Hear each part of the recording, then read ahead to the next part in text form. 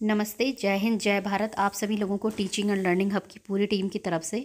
तो जैसा कि आप लोगों को पता है कि शिक्षा की गुणवत्ता को बढ़ाने के लिए लगातार हमारे प्रयास हो रहे हैं, हमारी टीम की तरफ़ से, चाहे करियर हेल्प के रूप में या वीडियो के माध्यम से, या किसी न किसी रूप में।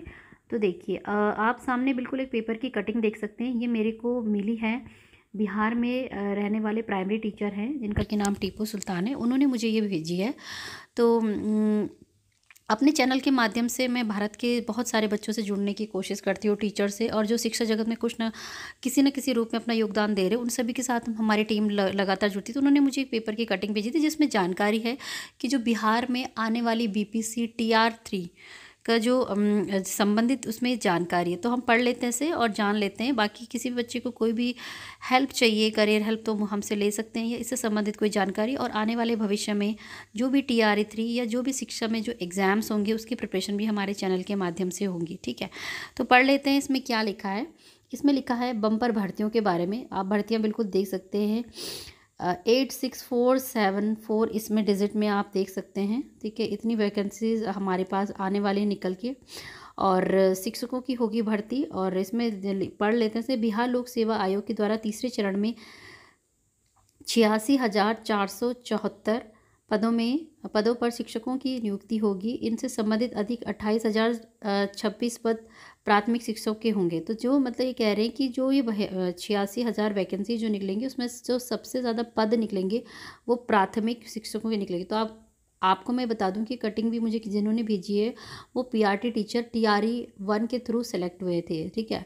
तो देखिए आने वाले टाइम पे यानी कि जो भी बच्चे डीएलएड कर ले हैं कर रहे हैं कहीं से भी कर रहे हैं और आने वाले भविष्य में बिहार के ही हैं या बिहार में जॉब के लिए सोच रहे हैं तो उनके लिए बहुत अच्छा मौका होगा क्योंकि इन्होंने साफ़ साफ़ लिखा है इस नोटिफिकेशन में कि जो जब सबसे ज़्यादा जो वैकेंसीज आएँगी वो आ, मतलब उसी की आएँगी प्राथमिक विद्यालय की ठीक है? तो इसको लेकर शिक्षा विभाग ने गुरुवार को सामान्य प्रशासन विभाग को अधि याचना भेज दी है जल्द आयोग के पास इन पदों को सूची सामान्य प्रशासन की ओर से भेज दी जाएगी। तीसरे चरण की नियुक्ति के लिए आयोग के द्वारा अभ्यर्थियों के ऑनलाइन आवेदन प्राप्त किए जा रहे हैं। तो ऑनलाइन प्राप्त किए जा रहे हैं ऑलरेडी। और मार्च में इसकी परीक्षा होनी है। इसको लेकर पदों की सूची शिक्षा विभाग द्वारा अभी नहीं भेजी गई थी। जिलों से विषय और कक्षावर पदों को रोस्टर क्लियर प्राप्त होने के विभाग से इसकी सूची सामान्य प्रश्न को भेजी है। नए वित्तीय वर्ष की शुरुआत में ही अप्रैल में इन शिक्षकों की नियुक्ति कर दी जाएगी। तो यानी कि मार्च में एग्ज़ाम होगा और मोस्ट लाइकली जो अप्रैल होगा, उसमें उन सभी शिक्षकों की नियुक्ति की जाएगी। और चौथे चरण की जो शिक्षा नियुक्ति अगस्त है, वो दो हज़ार चौबीस में घोषणा की जाएगी। तो दोबारा से जो टी आर ई फोर के बारे में भी हम बात कर रहे थे, उसकी जो घोषणा होगी, वो अगस्त में होगी, ठीक है? तो यही है बच्चों जानकारी। पहले से पाँचवीं अट्ठाईस हज़ार छब्बीस वैकेंसीज हैं, छठवीं से आठवीं उन्नीस उन्नीस हज़ार है और नौवीं से दसवीं उन्नीस सत्रह हज़ार, ग्यारहवीं, बारहवीं का बाईस। तो कुल मिला के छियासी हज़ार फोर सेवेंटी फोर वैकेंसीज आप लोगों के पास आएँगे, ठीक है? तो यही जानकारी मैं आप लोगों को अपने चैनल के माध्यम से देना चाहती थी।